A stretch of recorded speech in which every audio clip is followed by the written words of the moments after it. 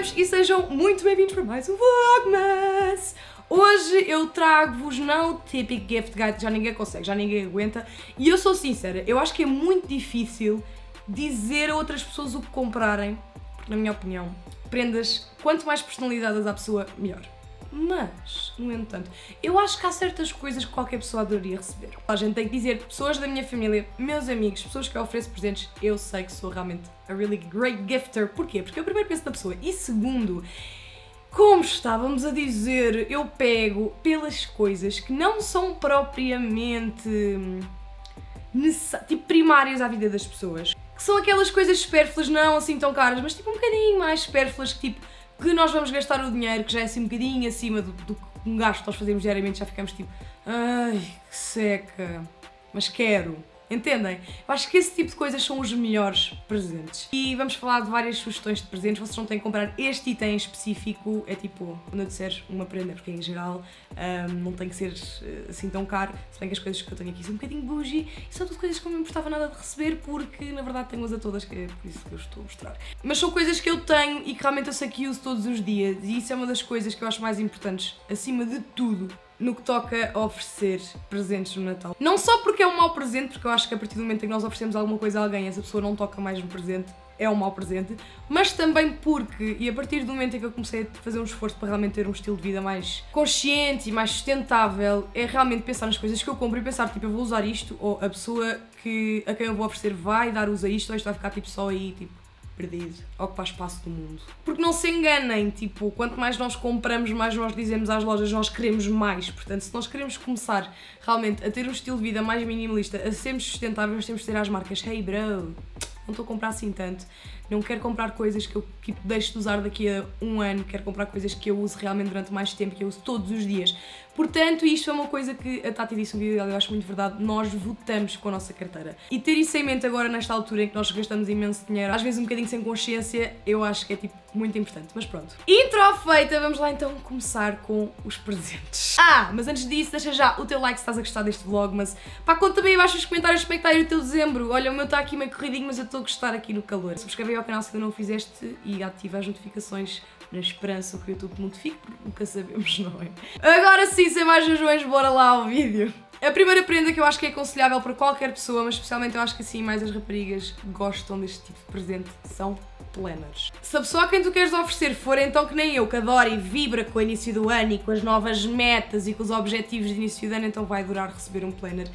Houve um conceito que eu conheci aqui no Brasil que nunca tinha visto em Portugal, que é o planner vitalício, que é o tipo de planner que não tem data, sabem? Ele não tem um ano e vocês podem ir preenchendo à medida que vocês querem. Portanto, aqui nas semanas vocês colocam os dias, ou seja, vocês conseguem usar durante muito mais tempo, porque eu sou muito sincera. Eu não me lembro de uma agenda que eu tenha usado straight through the year, tipo, de janeiro até dezembro não existiu. Portanto, muitas vezes eu até acredito que tenha comprado uma agenda e tenha usado tipo um mês, e depois encontrei tipo em outubro e fiquei tipo, ah boa, agora já não posso usar mais a agenda. Então este estilo de agenda é perfeito para mim eu acho que para muita gente. Come on! Quantos de vocês é que realmente usam a vossa agenda do início ao fim? Eu quero mesmo saber. Portanto, eu acho que isto é muito mais fixe. Vocês não ficam com uma agenda que vocês nunca mais vão poder usar em casa, depois até têm dó, nem a pessoa a quem vocês vão oferecer. E eu acho que realmente isto também é uma, uma forma muito mais sustentável de começar a fazer planners e acho que se calhar devíamos passar todos para este género de planners. Eu nunca tinha visto isto em Portugal, será que existe? Se existir, digam que eu quero ver, eu sou louca de planners, eu gosto de ver tudo. Estou a comprar aqui no Brasil e estou doida por ele, completamente, tenho usado praticamente todos os dias, mas quem sabe, daqui a um mês posso me esquecer dele e depois daqui a 10 anos voltar a usá-lo, que é brutal. E planners não são muito caros, é uma prenda que vocês conseguem comprar por, vá, mínimo 15 euros e depois the sky is the limit para quando vocês querem ir, podem só comprar também um planner tipo, sem nada. Podem, olhem, oferecer, por exemplo, uma amiga vossa que ficou noiva é o planner da noiva, uma amiga vossa que vai ser meio planner de, de, de estação. Eu ainda não estou nessa cena de pais e mães e gravidez e cenas, desculpem. Uh, pronto, whatever, adaptem às pessoas, como disse no início, acho que isso também é muito importante. Próxima prenda. Velas boas é a cena mais underrated do mundo. Não se enganem, no IKEA vocês não compram uma vela boa. Não é verdade. Pessoas dizem, ah, eu adoro o cheiro daquela vela de baunilha do IKEA. Olha, eu não vos entendo. Peço imensa desculpa, porque eu não, acho que não cheira nada. As minhas velas favoritas de todo o sempre, Bath and Body Works. Também gosto bastante das Yankee Candles, se as encontrarem à venda também são bastante boas. são uma vela um bocado bougie. São tipo uma vela que custa 20 e tal euros. Por uma vela, I know. Mas é. Não há palavras. Esta, no caso, é Ocean Driftwood. Eles têm imensos cheiros. As Bath Body Works não faz só velas, faz outros produtos também incríveis, boas prendas também. Mas velas boas são geralmente caras. E pelo menos caras para uma vela, né? Não é que 20 euros seja muito dinheiro, é dinheiro, mas não é o fim do mundo para uma prenda. Mas são aquelas coisas que eu detesto ter que fazer, que é ir lá comprar, dar os 20 euros. Quando ela chega e eu uso, eu fico muito feliz. Mas é pá, dar 20 euros numa vela dói, portanto eu acho que é uma prenda espetacular. E elas agora já se encontram à venda na Notinho, portanto vocês conseguem encomendar para Portugal. Portanto é verdade, estoque ilimitado de Bath Body Works aqui para mim. Estou muito feliz, tenho que deixar de trazer metade da minha mala uh, quando eu venho dos Estados Unidos cheia de velas, por isso eu acho que é uma prenda espetacular, mas não tem que ser Bath Body Works, obviamente. Qualquer tipo de cheiro para a casa eu acho que é brutal. Desde que não sejam que eles não cheiram nada, tipo uma vela de 5 euros não faz nada, sabe? É um desperdício, por favor, sejam sustentáveis e não velas do que é. Ofereçam uma Sansa! Uma Sansa faz qualquer pessoa muito mais feliz. Disclaimer, não ofereçam um animal, por amor de Deus, a ninguém que não tenha capacidades para ter um animal. Próximo presente foi efetivamente um presente que eu ofereci e foi então esta coluna da Sony. Eu não me lembro do, do modelo dela, eu vou colocá-la aí, acho que ela também não diz aqui. Exato, não diz. É XB. Foi a prenda de Natal do Vini, um, uma das. E ela tem uma particularidade incrível e foi por isso que eu a comprei, mas pronto. Mais uma dica de presente, colunas. Não tem que ser esta, só que acho que esta é muito fixe e não está assim tão cara. Eu comprei em promoção, não sei se ainda está em promoção. Mas pronto. Basicamente, ela para além de ser resistente à água completamente, vocês conseguem tipo ouvir som dentro da água, nós já fizemos isso, já testámos e é ok, a coluna continua aqui bombando. Ela tem uma cena chamada Party Booster, ou seja, em cada uma destas cenas, vocês quando. Ela agora está sem bateria, mas a Vini já vai fazer uma demonstração para vocês, ou melhor, eu vou gravar para vocês verem. Quando vocês batem aqui, ela faz diferentes sons. Portanto, vocês conseguem estar a ouvir música e a fazer ritmos e não sei o quê.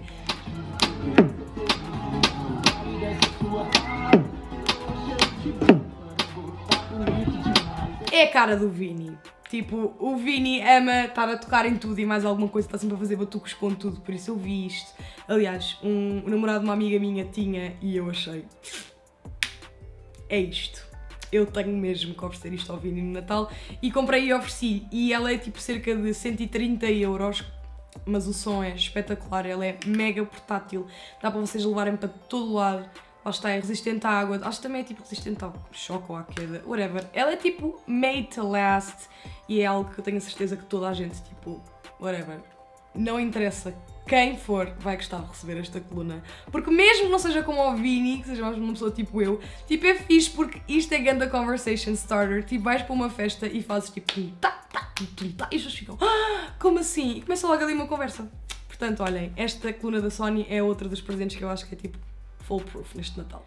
Continuando na vibe, tecnologia, eh, esta Instax Mini Play, tenho que confessar que acho que foi a coisa que eu mais gostei de receber no ano inteiro. Porque finalmente inventaram o que eu queria que existisse, que é uma Polaroid que imprime Polaroids normalmente, mas que envia as, as fotografias que vocês tiram com ela para o vosso telemóvel e vocês conseguem importar fotografias do vosso telemóvel para aqui e imprimi-las diretamente na Instax. Eu já gravei um vídeo onde eu mostrei exatamente eu a fazer todas estas coisas e que vou deixar agora a passar para vocês. Ela é um bocadinho mais cara, mas eu acho que é uma prenda, se vocês realmente quiserem gastar esse tipo de dinheiro, acho que é uma prenda espetacular, que a pessoa vai definitivamente dar uso, porque sem dúvida que eu também achava que oferecer uma Polaroid normal pode, podia ser uma boa prenda, mas no fundo era um bocadinho uma prenda envenenada, porque tinhas que continuar a comprar as recargas e as recargas em si também são bastante caras. E aqui é muito fixe, porque podes continuar a tirar as fotografias estilo Polaroid, porque elas continuam a ficar estilo Polaroid, até consegues exportá-las como se fossem uma Polaroid, literalmente, tipo, com a frame da Polaroid para o teu telemóvel e, tipo, ter no telemóvel, meter no Instagram, tipo, isto sim é epítome da tecnologia, tipo, em termos de utilidade, realmente de usar o Instax to its fullest. Portanto, se queres oferecer o Instax a alguém e queres ter a certeza que ela não vai deixar lá para o lado, Instax Mini Play é a minha sugestão para ti. A próxima prenda acho que vai ser a coisa que vocês vão achar mais bougie de todo este vídeo e são os AirPods. Eu juro, eu durante muito tempo eu resisti aos AirPods, mas eles são realmente a melhor coisa deste mundo. Eu amo, são a coisa mais prática de sempre, são mega leves. Pessoas que fazem desporto então vão adorar isto porque vocês estão a correr, vocês estão a fazer o que quer que seja, pelo menos a mim eles não me saem de todo e não sinto. Tipo, parece que não tenho nada nos ouvidos, é espetacular. A qualidade do som é amazing. Tipo, eles duram imenso tempo. Ai, Ai, eu adoro os AirPods. Foi tipo uma das minhas melhores compras deste ano, sem sombra de dúvida. Mas não tem que ser uns AirPods, podem ser outros fones deste ano. Eu acho que os fones wireless são muito mais práticos, mas podem oferecer também outro tipo de fones. Se há coisa que uma pessoa está sempre a perder, mas que está sempre a usar, são fones. Portanto, fones eu também acho que é uma ótima prenda e podes pôr assim um bocadinho mais dinheiro ou até juntar algumas pessoas, caso queiras oferecer, por exemplo, uns AirPods ou uns fones assim, tipo uns Beats, uns fones mais caros, alguém, alguém que tipo realmente vá usá-los muito, isso, muita música, que esteja a tentar tipo ser produtor, pá, uh, whatever, youtuber. Acho que os fones é sempre muito bem-vindo e os AirPods então. E por fim, temos coisas materiais, uma coisa que eu acho que é muito underrated são makeup bags, mas tipo bons makeup bags, não é assim tipo qualquer um. Eu mostrei-vos num vlog que comprei o Base Makeup Bag e foi a melhor compra que eu podia ter feito foi caro, foram cerca de 80 euros. Eu já não me lembro muito bem ao certo, vou colocar agora aí para vocês quanto é que realmente custou. Mas, primeiro, ele é feito de um material super resistente e depois é a parte de dentro que faz diferença. Excuse me, meu make-up bag está bastante sujo, é sinal que eu o uso. Eu acho, primeiramente, que ele é um tamanho ideal para vocês levarem tipo muita maquilhagem, que é o que eu gosto de fazer. A primeira coisa que ele tem que eu amo é a coisinha para vocês levarem os vossos pincéis separada. Eu, muitas das vezes, isto está tão cheio que eu ando com isto à parte, portanto também podem usar como duas bolsas diferentes. E mesmo dentro desta bolsa existem mais fechos. Tem mais bolsas aqui dentro, tem esta deste lado, que é só uma, e depois à frente uma dividida em dois. E ainda a parte que eu mais gosto, que é o espelho. Tem aqui assim no seu próprio pocketzinho. Ele meu, não sei o que é que se passou. Enfim, houve aqui um problema, mas é super prático ter um espelho sempre convosco. Vocês colocam tudo aqui dentro está perfeito para viajar, ele é maravilhoso porque vocês se quiserem andar só com ele também podem andar assim. Pá, eu adorei, achei um bocadinho bougie, gostei de me mimar com isto e acho que alguém que viaje muito ou que use maquilhagem e tipo valorize mesmo maquilhagem, normalmente estas pessoas já têm tudo, dar-lhes um make-up bag é tipo acertar na mousse, meus caros. Para quem não sabe, a Base é a marca da Shane Mitchell e ela tem vários artigos de viagem, incluindo malas também e outros tipos de coisas, mas o make-up bag foi o que mais me chamou a atenção e honestamente um, acho que era o novo que saiu agora Confesso que ele se tem sujado um bocadinho, mas tipo, para o que podia estar, está espetacular. Mas nem só assim de presentes materiais se faz o Natal e portanto eu tenho mais três sugestões de coisas que eu acho que são assim, muito boas ideias para oferecer neste Natal. Então a primeira são gift cards. Acho que gift cards é outra coisa muito underrated, mas não é gift card do tipo, olha, toma 50 euros na FNAC, não precisa escolher nada, vai lá comprar um livro, um CD, oh aquelas outras coisas que tu gostas, que eu não faço ideia, por isso é que estou a dar um vale. Não, não são esses tipos de gift cards. São, por exemplo, vou dar aqui já um, um spoiler. Eu, eu, se calhar vou mas é ligar antes deste vídeo sair para vos avisar. Mas, por exemplo, o João Jonas adora o Starbucks. Mas Starbucks é caríssimo, não é? Portanto, eu vou-lhe oferecer um gift card para o Natal. Vai ser a prenda de Natal dele. Eu acho isso é fixe, é vocês pensarem efetivamente o que é que a pessoa gosta e oferecerem um gift card de acordo. Esse tipo de coisas, quando faz realmente sentido, acerta tão bem que é muito melhor do que vocês oferecerem tipo roupa ou uma paleta de sombras ou o que quer que seja, porque dá jeito, sabem? Vocês tipo chegarem, têm o vosso gift card e é tipo, ei, que fixe, tipo, é eu ia fazer isto na mesma, isto foi tão melhor, entendem? Portanto, pensem num gift card assim fixe para oferecer. Imagina, se tem uma, uma amiga que é viciada na Zara, dá-lhe um gift card da Zara, mete tipo diverte nos saldos, uma coisa assim qualquer. Outra coisa que eu acho muito querida é vocês escreverem um handwritten note.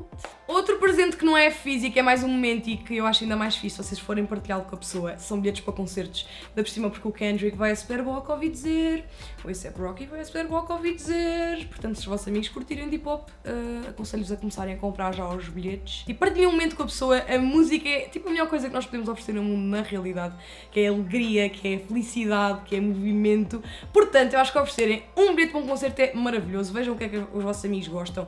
Se vocês não sabem ao certo, podem stalkeá-los tipo no Spotify, estejam atentos aos stories. Se for para a crush, façam o mesmo. Bilhetes para concertos eu acho muito fixe. Eu uma vez uh, ofereci à Marie no Natal, nós íamos fazer uma viagem para Dublin e eu ofereci-lhe um, ehm, os bilhetes para irmos ver Kendrick Lamar, porque nós já tínhamos feito, e aliás nós fazemos sempre isto, nós viajamos a contar de ir ver já um concerto, nós marcamos a nossa viagem um bocadinho à volta disso.